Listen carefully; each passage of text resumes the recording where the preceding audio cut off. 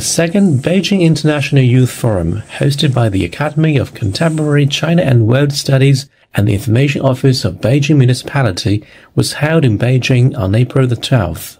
Representatives from 28 countries exchanged ideas around the theme Youth for a Better Future. I think what is more important is, you know, us as youth being uh, the bridges, building the bridges and, you know, serving for public diplomacy, 民间外交, people to people exchanges. We have to be able to learn, you know, about other cultures, you know, to accept that other are different. If you are different, it doesn't necessarily make makes you my enemy or whatever. 因此，我很早就确定了我要留在中国学习国际关系专业。中俄两国关系作为世界上最为重要的双边关系之一，可以说对地区乃至全球局势都起着关键作用。 作为两国的青年一代，我认为中俄青年应该更加相互了解，而最好的方式就是通过青年公共外交。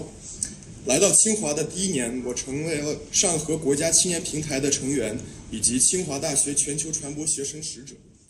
对今天的这个论坛呢，也非常满足。